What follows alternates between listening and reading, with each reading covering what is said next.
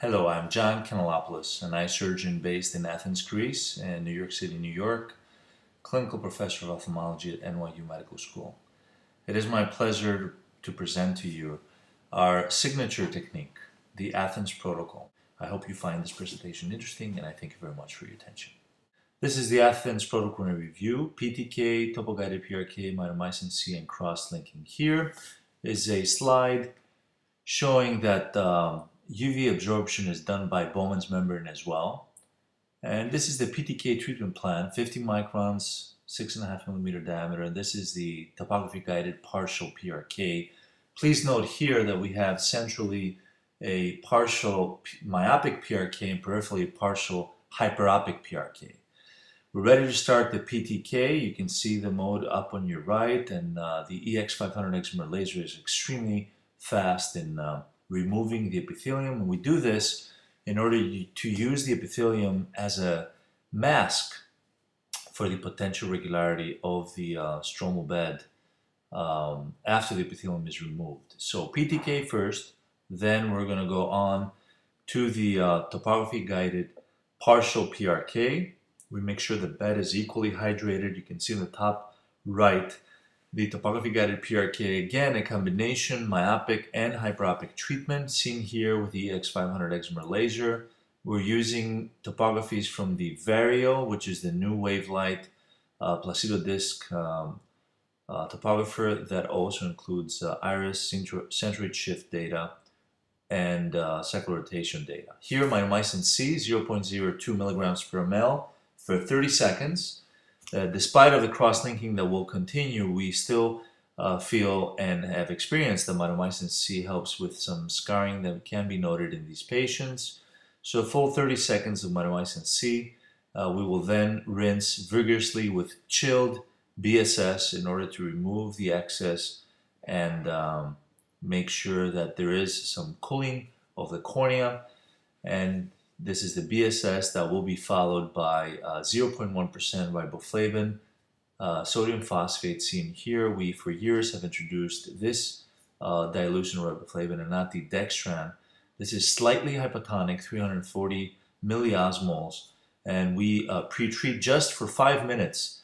Um, so we sway away from the um, Dresden protocol. Five minutes of pre-treatment with 0.1% um, riboflavin sodium phosphate and then move over uh, to use, as you can see here, a few more drops of riboflavin, the um, Avedro KXL device, uh, which will fit right between uh, the two lasers of the refractive suite. And uh, this is a highly customized tool. It can provide fluence from 3 milliwatts all the way up to 45 milliwatts.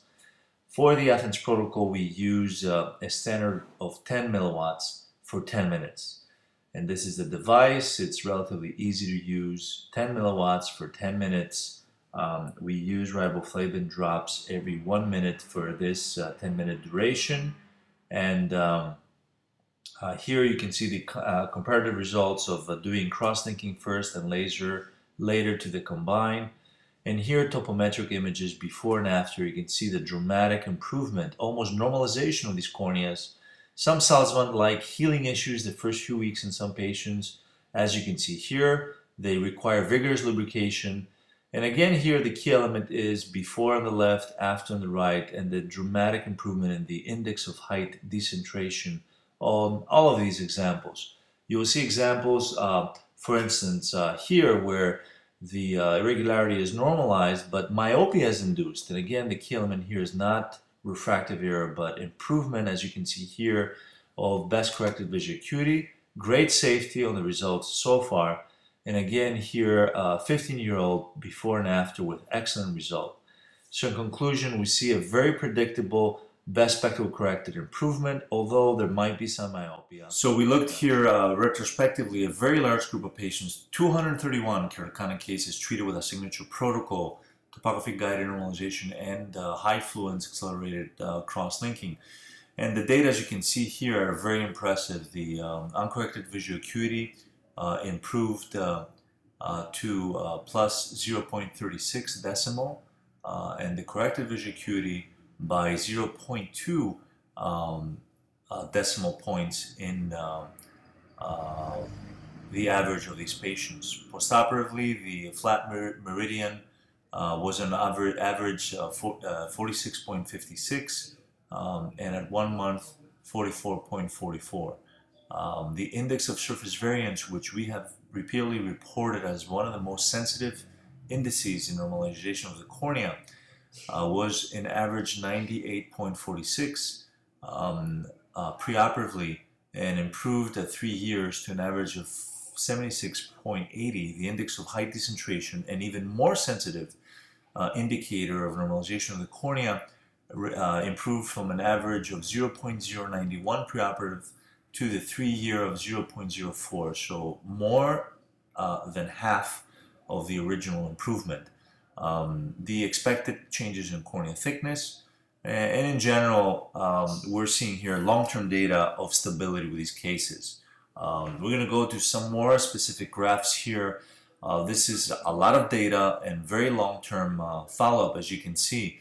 We have not seen in literature such long-term follow-up on these cases. Uh, we're looking here at the uncorrected and corrected visual acuity.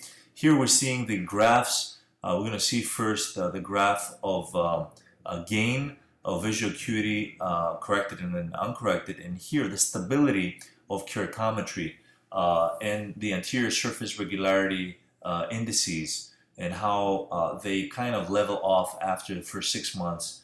Uh, here the uh, cornea thickness, obviously these corneas are thinned but remain stable.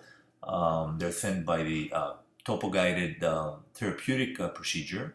And here we're going to see how the individual indices um, uh, improve the K1, K2, uh, the index of surface variance, and index of height decentration.